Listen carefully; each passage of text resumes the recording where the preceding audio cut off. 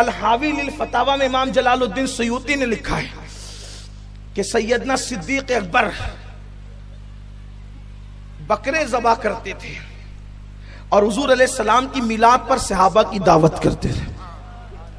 ये इमाम जलालुद्दीन सयूती कोई छोटे मोटे आदमी नहीं है।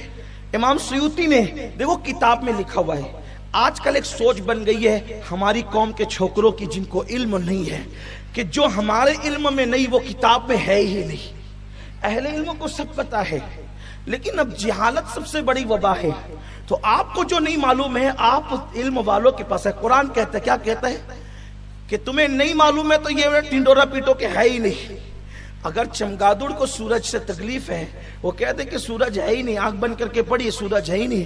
कसूर तो उस बड़ी भी कहे ना कि जिसको सूरज नज़र नहीं आता।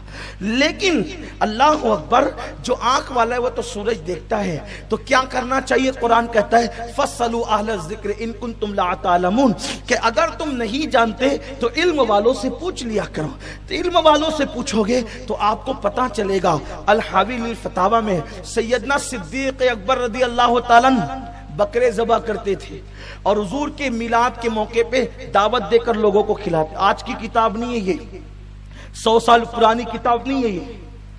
सदियों पुरानी किताब है अल हावी फतावा। अब आपको ये हवाला मिला।